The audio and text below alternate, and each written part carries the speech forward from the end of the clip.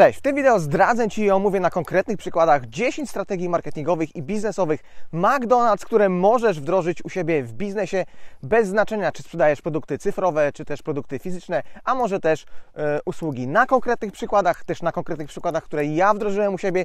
Także krok po kroku omówimy sobie te 10 takich strategii marketingowych McDonald's, które zapewniają tej sieci ogromną sprzedaż każdego dnia. Partnerem tego kanału jest firma Cyberfolks, także jeśli jeszcze nie masz hostingu oraz domeny, to w opisie tego filmu znajdziesz właśnie link do Cyberfolks, a już teraz zasubskrybuj po więcej tego typu treści e, marketingowych, biznesowych właśnie mój kanał. Dobrze, zaczynamy. Strategia numer jeden, e, strategia chyba znana każdemu, te, te magiczne cztery słowa, a może frytki do tego, czyli upselling, czyli proponowanie e, klientowi, który kupuje, który już ma otwarty portfel jeszcze jednego i jeszcze kolejnego e, produktu, w tym wypadku właśnie może fryteczki, może ciastko do kawy, może napój do frytek, tak? Także pomyśl, co Ty e, mógłbyś jeszcze zaoferować e, swoim klientom, którzy już mają otwarty portfel, którzy już wydają pieniądze w swoim sklepie, w Twojej firmie. I podam Ci też na przykładzie właśnie tutaj, można powiedzieć, z mojego podwórka, czyli z mojej strony internetowej gdzie sprzedaję swoje kursy online. Link do moich kursów znajdziesz w opisie tego filmu, czyli na eakademia.online. I każdy, kto kupuje, e, czy to jest pakiet kursów, czy to jest pojedynczy kurs, to na stronie zamówienia może dodać e, do koszyka również e-booka. E-booka, który, mm, jeśli na przykład mamy kurs, który kosztuje około 300 zł, ten e-book kosztuje 47 zł, czyli ważne, aby E, nie musi tak być, ale ważne, aby ten produkt, e, który chcesz dosprzedać e, w tym upsellingu, ten upsell był no, troszkę tańszy, no, troszkę, nawet sporo tańszy od tego, od tego produktu, który sprzedajesz, tak? Czyli żeby ten ból płacenia nie był zbyt duży, tak? Więc jeśli ja sprzedaję kursy za powiedzmy 300 zł, 400, 500, jeśli są to pakiety, to już ten ból płacenia 47 zł nie jest za e-booka, nie jest jakiś duży. Zwłaszcza, że ten e-book w swoim tytule e, daje realną korzyść swoim, moim klientom, czyli jest to e-book za 47 zł, gdzie e, zdradzam 100 najlepszych darmowych narzędzi online e, do pracy w firmie, w biznesie, które mi pomogły zarobić ponad milion złotych, tak? Czyli jest ta wartość, ta cecha najważniejsza, czyli konkrety, konkretna liczba E, po skorzystaniu, tak? I na stronie zamówienia, gdy już właśnie klient ma ten portfel, że tak powiem, otwarty, ma tę kartę w ręku, może właśnie dodać do koszyka mm, ten e, upsell. Można też zrobić to w ten sposób, że jeśli na przykład cena jest mm, dajmy na to 50 zł Twojego upsella, no to na stronie koszyka możesz to zrobić w cenie mm, na przykład 40 zł, tak? Zmniejszyć tę cenę o 10 zł, żeby ta cena wydawała się jeszcze bardziej e, dla klienta atrakcyjna, tak? E, żeby zachęcić go właśnie do, do dodania na stronie zamówienia. Tak? Także pomyśl, co jeszcze mógłbyś e, dosprzedać tak? w tym upsellu. I strategia numer dwa, czyli strategia łączenia swoich produktów w zestawy z pakiety. E, strategia, której McDonald's używa od lat 80., czyli mm, jeśli masz zwłaszcza dużo produktów, to postaraj się połączyć produkty w zestawy, w pakiety. E, I teraz właśnie tutaj też wynika z, te, z tego punktu strategia cenowa. Podam Ci na swoim e, przykładzie.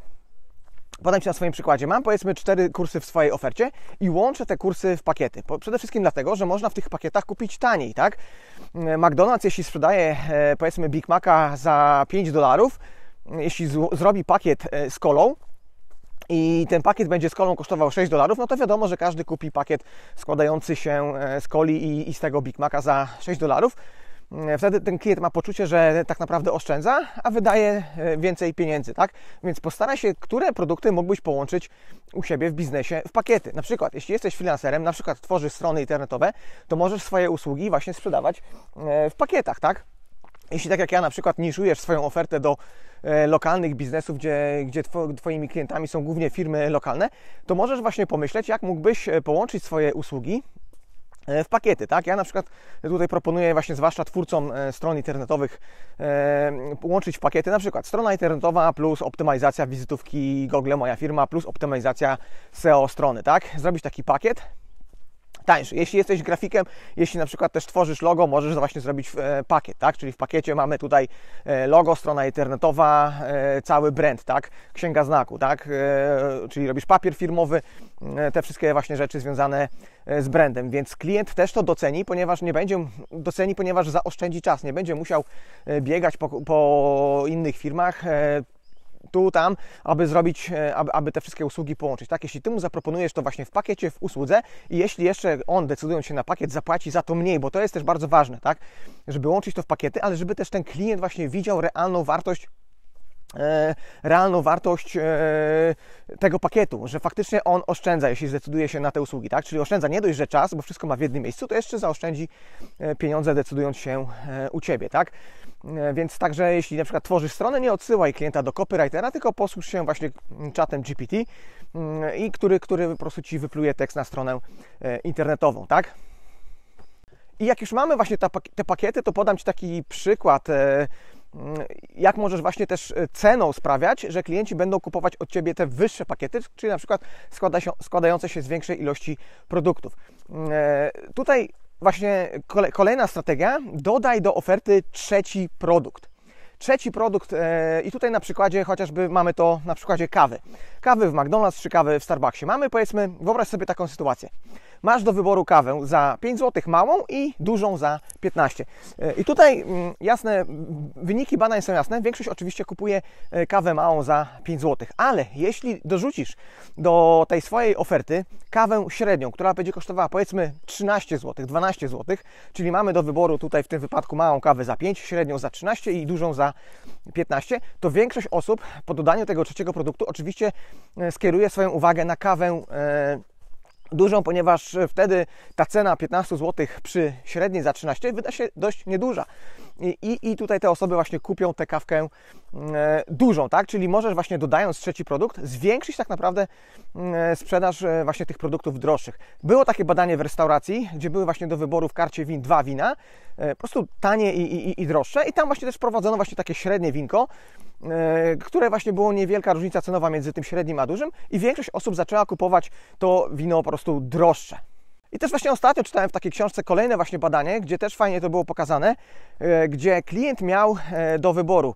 Tam był e-book za 5 dolarów i e, był e-book plus książka drukowana za 15 dolarów, tak? Czyli duża, duża różnica. I większość osób kupowała oczywiście, dokładnie 85% kupowała te, ten e-book za 5 e, dolarów, tak? Czyli zaledwie 15 osób, 15% kupowało e, tego e-booka plus książkę drukowaną za 15. Jednak, gdy wprowadzono do oferty trzeci produkt, a trzecim produktem była tylko książka drukowana, e, która kosztowała, za, która kosztowała 15 dolarów, tak? Czyli mamy do wyboru e-booka za 5 dolarów, książka drukowana za 15 dolarów i trzeci produkt który był wcześniej, e, książka drukowana plus e, e-book za 15 dolarów, tak? I powiesz, no jaki to jest bezsens? Przecież tutaj mamy książkę drukowaną za 15, a tutaj mamy e-booka mm, plus książka drukowana też za 15, tak? No właśnie tutaj cały polega ten pic. Po wprowadzeniu tego trzeciego produktu, e, którego nikt nie kupił, proporcje się mega odwróciły. Wtedy zaledwie 1 trzecia osób kupowała tego e-booka za 5, E, dolarów, natomiast e, dwie trzecie osób kupowało właśnie ten pakiet e, e-book plus książka drukowana. I w sumie po wprowadzeniu tego trzeciego produktu nic nie zmieniło w tym sensie, że nikt przecież go nie kupił. 0% kupiło, tak? Natomiast zobacz, oferta teoretycznie taka sama, bo nikt nie kupił tego trzeciego produktu wprowadzonego, spowodowała, że z 15% osób kupujących najdroższy ten pakiet, z 15% skoczyło to do 60 tam bodajże 7, tak? E, to też, to też pokazuje, jak jesteśmy po prostu jako ludzie irracjonalni. Tutaj polecam Ci książkę e, Dana Arieli, właśnie Potęga Irracjonalności, gdzie właśnie pokazuje w taki sposób mm, na konkretnych przykładach, w jaki sposób ludzie podejmują irracjonalne decyzje. To tylko nam się wydaje, że jesteśmy tacy e, logiczni. Nie, e, kupujemy, na, kupujemy właśnie tą częścią emocjonalną, tym mózgiem gadzim, ssaczym, odpowiedzialnym właśnie za instynkty, za emocje. Kupujemy emocjami, a dopiero później logiką staramy sobie to e, wytłumaczyć, że tak powiem, na poziomie logicznym, to jaką decyzję podjęliśmy, tak? I tutaj Ci podam właśnie przykład też, e, jeśli chodzi o te wprowadzanie cen e, i łączenie też tej strategii cenowej ze strategią pakietową, jak ja to zrobiłem u siebie e, w pakietach, tak? Mam powiedzmy pakiet kursów, gdzie mam dwa kursy i mam pakiet, gdzie mam kursy trzy. I zrobiłem to właśnie w ten sposób, że cena pakietu składającego się z trzech kursów jest niewiele wyższa od tego pakietu dwukursowego, tak? Czyli widzisz, kieruje swoją, kieruje uwagę klientów, kieruje uwagę użytkowników od razu na ten pakiet składający się z trzech kursów, tak? Czyli powiedzmy, jeśli masz na przykład pakiet, pakiet dwóch produktów za 400 zł, to zrób pakiet trzech produktów za 500 zł. Zaledwie E, zwiększysz cenę o zaledwie 25%, a klient dostanie e, jedną trzecią więcej, połowę w zasadzie, no bo tu mamy dwa kursy, a tu mamy trzy, dostanie mm, połowę więcej, tak? Czyli dla niego wyda się dużo bardziej atrakcyjne i więcej oczywiście pieniędzy zostawi na Twoim stole. Kolejna strategia, jedna z moich ulubionych e, i też nie tylko moich, to ograniczanie. Ograniczanie oferty bądź czasowe, bądź ilościowe. I tutaj McDonald's rzadko, rzadko stosuje takie strzały promocyjne, natomiast często stosuje właśnie E, stosuje okienka, gdzie są produkty na przykład limitowane, tak? Już nie pamiętam jaki to burger jest takim sezonowym, chyba wieśmak. Natomiast e, często też właśnie w jakichś tam porach świątecznych mamy jakąś kawkę o jakimś smaku e, korzennym, latte orzechowe, tak? Czyli mamy taką limitowaną, limitowanie swojej oferty. Też zauważy, że często będąc na przykład w markecie, kupując produkty spożywcze, często widzisz to na opakowaniach oferta limitowana, tak? I tak jakbyś pomyślał nad tą ofertą, to jest to zupełnie bez sensu, no bo co mi z tego, że jakieś chrupki są ofertą limitowaną? To nie są znaczki pocztowe, to nie są wartościowe monety, żeby to po prostu kupować, bo jest to oferta limitowana. Natomiast to się nie odwołuje oczywiście do naszego mózgu logicznego, bo logicznie to jest, to jest beton, to, się, to, to, to, to, jest bez sensu. E, natomiast to się odwołuje właśnie do tej części naszej emocjonalnej, gdzie mamy coś po prostu, limi, e, gdzie mamy jakiś limit, tak? Więc tutaj pomyśl, jak mógłbyś e, ograniczyć bądź ilościowo, bądź czasowo swoje produkty. Ja na przykład e, raz do roku robię mm, podwyżkę cen, tak? No, Kursy muszę aktualizować, inflacja też również mnie dotyka, dlatego co roku robię podwyżkę moich kursów i ci, którzy moje kursy kupują, to wiedzą, że nie jest to żaden pic, tylko faktycznie ta cena idzie do góry i już nigdy nie spada, tak? Nigdy już nie będzie tak naprawdę taniej i to napędza mi świetnie sprzedaż, robię to zawsze we wrześniu, i jest taka oczywiście informacja na mojej stronie, na moich stronach sprzedażowych moich kursów, że mm, od 1 września jest podwyżka, kursy, cena kursów idzie mocno w górę i nigdy już nie będzie taniej i ludzie po prostu wtedy mam najlepszy pik sprzedaży e, właśnie w sierpniu, gdzie ludzie kupują, ponieważ chcą właśnie skorzystać, e, bo wiedzą, że jest właśnie ten limit czasowy, tak? E, czyli mają konkretną ilość dni na, na podjęcie decyzji. Też właśnie też często różni twórcy kursów sprzedają swoje kursy w okienkach czasowych. Ja tego nie robię, ponieważ to ich ogranicza, tak? Robię okienko ty tydzień, a później powiedzmy przez pół roku nie mają żadnej sprzedaży, tak? Oczywiście przez ten tydzień sprzedaż się napędza, natomiast ja wybrałem taką drogę hybrydową yy, i rozkminiłem to w ten sposób, aby sprzedawać swoje kursy w całym roku, ponieważ osoby, które chcą tworzyć swoje strony internetowe, czy też promować swoje biznesy, nie będą czekały pół roku, tylko chcą zrobić dzisiaj stronę, to dzisiaj będą, dzisiaj chcą e, kupić ten mój kurs, tak? Więc ja mam sprzedaż całym rokiem, natomiast sobie robię takie okienka raz w roku, gdzie robię po prostu podwyżkę, tak?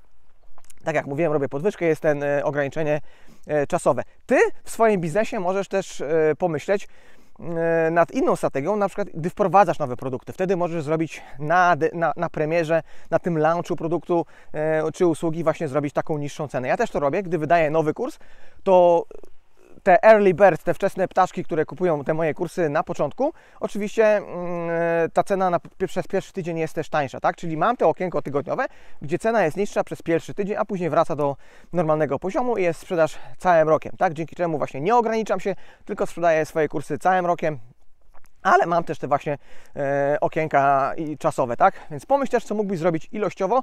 Ludzie, tak jak mówię, dużo chętniej będą kupować, gdy wiedzą, że coś jest po prostu limitowane i coś za chwilę e, zniknie z Twojej e, oferty. Kolejna strategia to nadaj swojemu produktowi, swojej usłudze jakąś e, oryginal, oryginalną nazwę. Zobacz, hamburgera możesz kupić wszędzie na dworcu w Swarzędziu, na dworcu w Rzeszowie, natomiast Big Maca Big Royala, wieś, wieśmaka możesz kupić tylko w McDonaldzie, tak? A na przykład w Poznaniu jest taka restauracja, która nazywa się Gołe Baby i sprzedaje właśnie hamburgery i chociażby właśnie ta nazwa nie ma nic wspólnego, jest, wydawałoby się głupia, nie ma nic wspólnego z hamburgerami, jednak zobacz, ja mieszkam od Poznania jakieś, nie wiem, 400 km, nigdy tam nie byłem, a słyszałem o, te, o tej restauracji, tak? Czyli jest to najlepszy, najtańszy sposób właśnie na wyróżnienie się, na darmową reklamę, chociażby właśnie w takich anegdotach, gdzie zobacz, powtarzam i dzięki, e, dzięki temu filmowi kilka, e, kilkaset czy tam też kilka tysięcy osób dowie się właśnie o tej restauracji, mimo że ja w niej nie byłem, ale zapamiętałem jej nazwę. I cały właśnie jest tutaj właśnie pizz, aby nadawać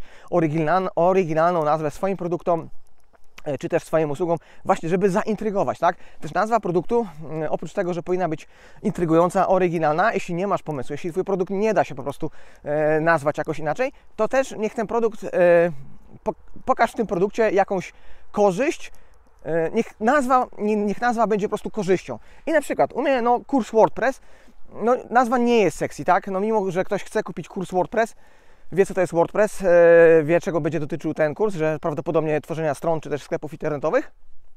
Aczkolwiek niekoniecznie, bo większość osób, w swojej, większość mojej konkurencji, która sprzedaje kursy WordPress, nie uczy WooCommerce'a.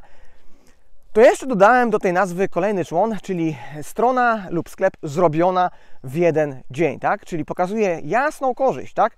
Kurs WordPress nie brzmi seksy, natomiast strona lub sklep zrobiona w jeden dzień już pokazuje konkretną e, wartość, konkretną cechę, tak? Że jest to kurs który sprawi, że Ty swoją stronę czy też swój sklep postawisz nawet w jeden dzień.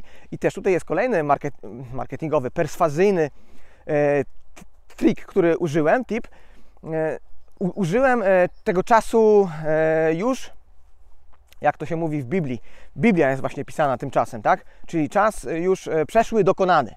Czyli Twoja strona nie będzie zrobiona w jeden dzień, tylko ja użyłem tutaj Twoja strona zrobiona, tak? Zrobiona. Pokaż, namaluj w głowie Twojego klienta, że już dokonał się tutaj jakiś proces, że już coś się wydarzyło, tak? Na przykład jest taka strona Audioteka, gdzie możesz sobie tam wypożyczyć książki w formie audio i tam jest takie właśnie hasło e, książki, historie dobrze opowiedziane, tak? Już te historie zostały opowiedziane. Ty jeszcze nie kupiłeś subskrypcji w Audiotece. Ja nic nie mam właśnie tutaj. Mówię na przykładzie, to nie jest tak, że polecam. E, nawet tam nie, nie, nie, nie mam abonamentu, jednak te hasło właśnie mi się rzuciło w oczy.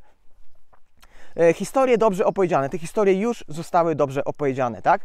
Kiedyś e, hosting Linux reklamował się hosting dobrze obsłużony, tak? Już ten hosting, ten hosting już jest dobrze obsłużony, tak? Także używaj tego czasu dokonanego. Zobacz, u mnie też jest na, na, na stronie, tu zaczął się Twój sukces online, tak? Jeśli wejdziesz na moją stronę eakademia.online, to już czytając te perswazyjny nagłówek, tu zaczął się, tak? Już, czyli już proces się dokonał, Ty już jesteś w tym procesie, tak?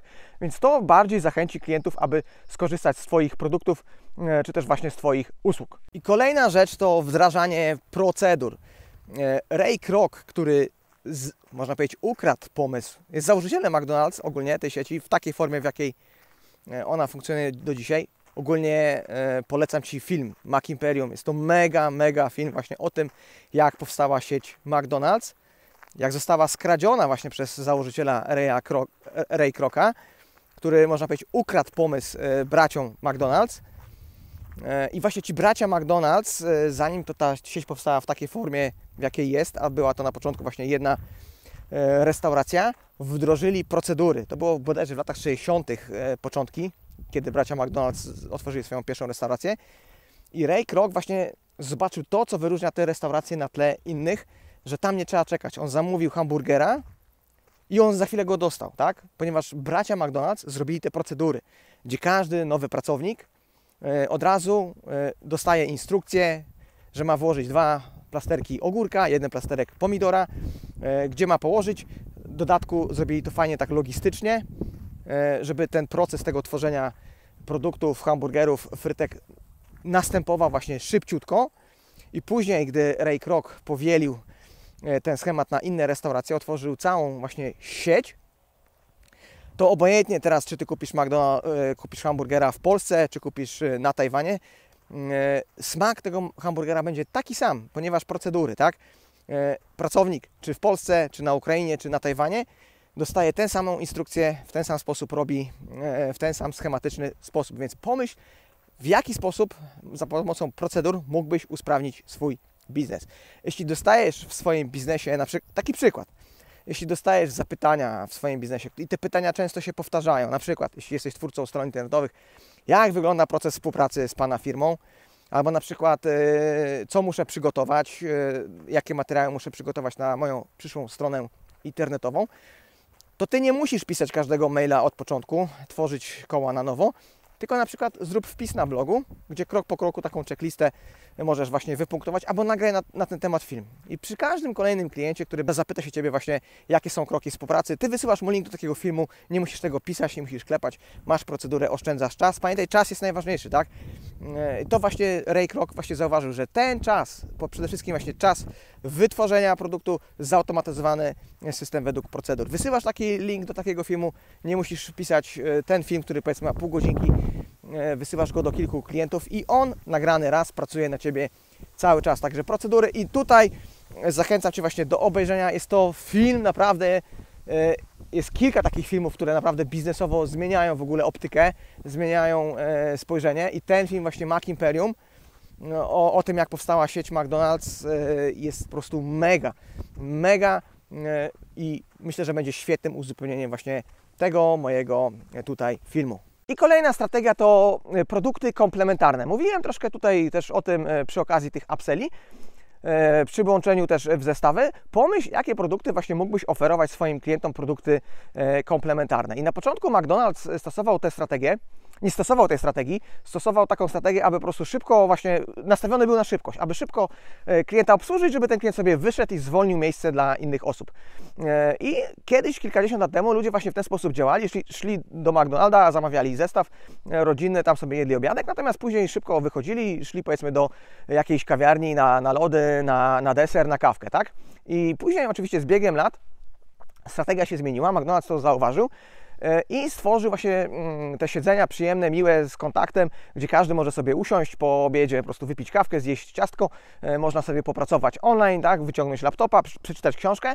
E, już, że tak powiem, przestał wyganiać swoich klientów z lokalu, tylko właśnie ta strategia poszła w tę stronę, aby oferować klientom jeszcze inne produkty komplementarne, tak, właśnie E, jak chociażby właśnie to ciastko, jak ta kawa, mm, e, tak, w niektórych hotelach na przykład e, idziesz na jakieś zabiegi spa, ładnie pachnie, mm, jakieś tam wiadomo, olejki, nie olejki, świeczki zapachowe i niektóre hotele właśnie wprowadzają, czy też właśnie salony piękności, salony beauty, wprowadzają właśnie w ofercie sprzedaż chociażby właśnie takich świec zapachowych, tak? Idziesz, masz masaż, coś Ci ładnie pachnie, pytasz, jest ładna mm, gablotka, jest ładna witrynka, możesz kupić, tak? Czyli zwiększanie zwiększanie właśnie poprzez e, dodawanie produktów e, komplementarnych, tak? Czyli tak jak mówiłem, łączenie, wcześniej mówiłem to przy okazji łączenia w zestawy, tak? Więc jeśli na przykład tworzysz strony, to postaraj się właśnie, aby Twoja oferta była jak najbardziej kompleksowa. Klient to doceni i więcej zostawi pieniędzy na stole. Nie musisz się e, użerać, nie musisz konkurować ceną, szukać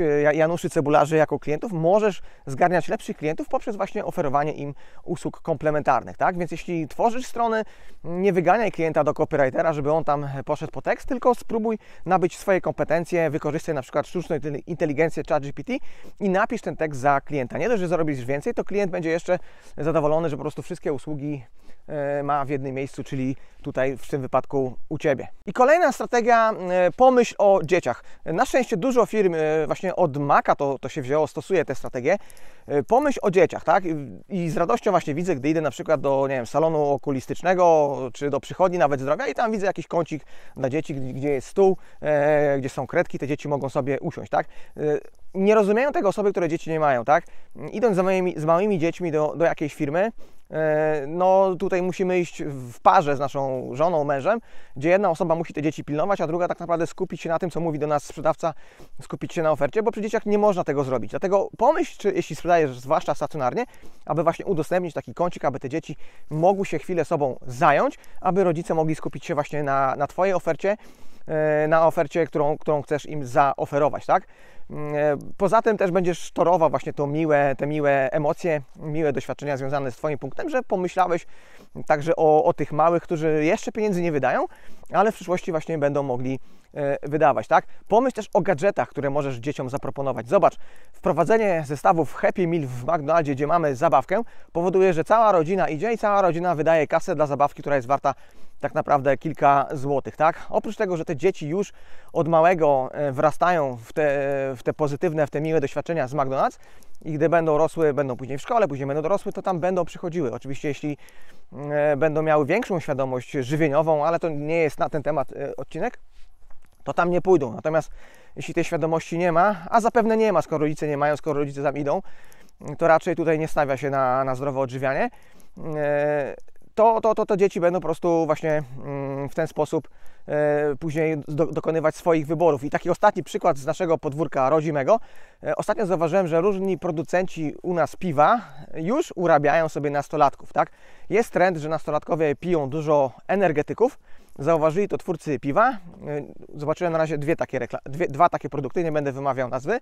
Natomiast zobaczyłem, że właśnie ci dwaj producenci piwa już zaczęli wprowadzać piwo 0%, piwo 0% energetyk, tak? Czyli już od, e, można powiedzieć, nastoletnich lat e, przyzwyczajają do swojej marki e, te młode osoby, tak? I taki 15-16 latek kupuje właśnie te energetyki o nazwie właśnie tego piwa i później, gdy skończy 18 lat, no to jaką wybierze markę? A no właśnie taką, tak? E, także, także urabianie od małego dzieci, dawanie gadżetów, myślenie właśnie o jakimś kąciku dla dziecka. E, też na przykład producenci samochodów e, zaczęli tworzyć właśnie takie swoje miniaturki, samochodziki akumulatorowe dla dzieci, tak? Możesz kupić właśnie różnych popularnych marek, małe takie samochodziki, tak? Natomiast gdy Ty sprzedajesz online, możesz pomyśleć właśnie o jakimś gadżecie dla, dla małych dzieci, tak? Jeśli sprzedajesz na przykład odzież, masz tam odzież właśnie, no to pomyśl, co mógłbyś dać małego, gratisowego mm, właśnie dla, dla, dla dzieci.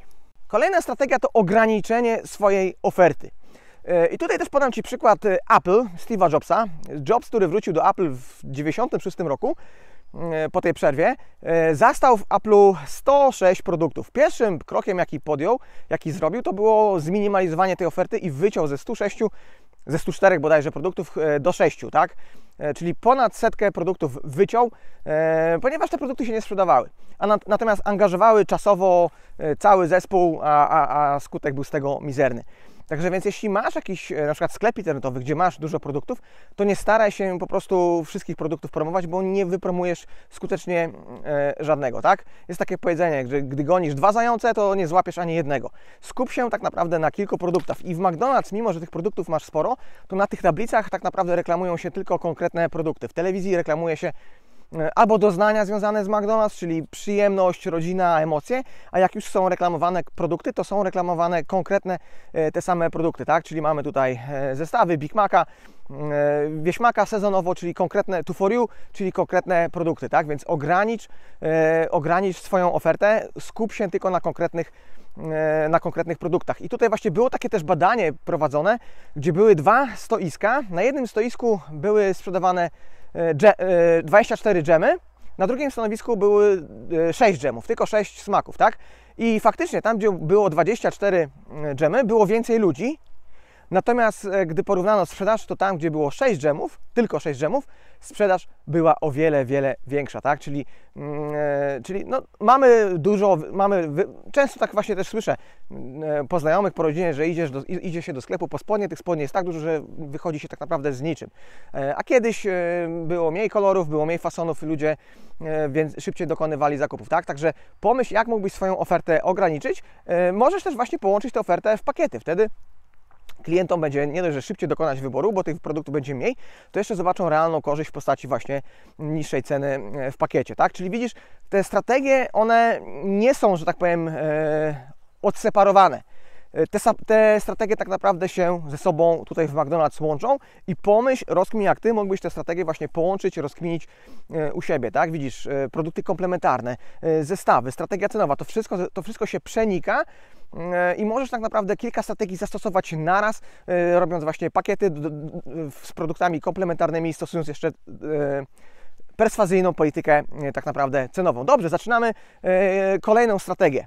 Kolejna strategia to kupony. Tak jak mówiłem, McDonald's rzadko kiedy robi takie promocje, duże promocje, natomiast często stosuje kupony, które są ograniczone czasowo. I też e, zobaczyłem, że niektóre, ostatnio zamawiając książki, niektóre wydawnictwa na przykład też stosują tę strategię. Zamawiam sobie książki e, i dostaję razem z książką zakładkę do książek, a na tej zakładce jest kupon, na, na kupon z rabatem na kolejne zakupy, e, na kolejne zakupy, gdzie mogę wykorzystać właśnie ten kupon, ale w określonym okienku czasowym. I to właśnie mimo tego, że kupiłem już w tym wydawnictwie to, co chciałem, w teorii wszystko, to mimo, że mam ten kupon, to szkoda mi z niego właśnie nie skorzystać, tak? Bo jest on ograniczony czasowo, bo jest y, kolejny rabat na kolejne książki i ta strategia właśnie sprawdza się. U mnie zastosowałem tę strategię, że każdy, kto kupuje y, właśnie pakiet moich kursów, to tam dostaję szereg niespodzianek, tak, o których też nie chcę tutaj mówić, ale między innymi jedną z takich niespodzianek jest voucher. Jest e, właśnie taki kupon rabatowy o wartości trzycyfrowej, nie będę mówił jakiej, ale jeśli jesteś nawet średnio tutaj z matematyki, to możesz sobie wykminić, jaka to jest najmniejsza liczba trzycyfrowa. Dostaję kupon rabatowy na kwotę właśnie trzycyfrową na kolejne zakupy, tak? I powiem Ci, że od kiedy to wprowadziłem, a wprowadziłem to jakieś półtora miesiąca temu, sprzedaż właśnie z tego kuponu bardzo, bardzo skoczyła do góry, tak? Mm, być może te osoby kupiłyby w przyszłości, tak? I tak ten produkt, natomiast tego nie wiem. Natomiast wiem, że od kiedy jest ten, e, ten kupon dawany tym osobom, te osoby już kupiły ode mnie coś, tylko to, jest też ważne, żeby za Twoimi produktami, za Twoimi usługami szła wartość, tak? Jeśli ktoś kupi, od, ode, jeśli ktoś kupi coś od Ciebie, ale nie będzie z, tych, z tego produktu, z tej usługi zadowolony, to mimo, że Ty możesz dać najlepszy kupon e, z, e, z dużym naprawdę rabatem, to on, on od Ciebie i tak nie kupi, ponieważ sprawdził Twój produkt, Twój produkt się nie sprawdził, e, nie, nie poszła za tym jakość i on nie wydał Ciebie więcej pieniędzy na stole mimo tego kuponu. Natomiast jeśli Twoje produkty tutaj idzie za nimi jakość, idzie to, że dowozisz tę obietnicę, którą dałeś na stronie sprzedażowej, E, to, to, dlaczego klient miałby nie skorzystać z kolejnych Twoich produktów, z kolejnych e, Twoich usług? Tutaj zapraszam właśnie po moje kursy na eakademia.com online. I to wszystko w tym odcinku. Y, daj znać, który, z których strategii zamierzasz skorzystać i zostaw komentarz, jeśli chcesz, żebym, abym nagrywał więcej tego typu wideo, y, abym wziął na warsztat jeszcze inne znane właśnie firmy, korporacje, które korzystają z różnych strategii marketingowych, biznesowych, abym właśnie wziął je na tapetę, prześwietlił y, i wyciągnął esencję, co Ty, Ty, Ty możesz wprowadzić u siebie w biznesie. Do następnego wideo, trzyma się, hej!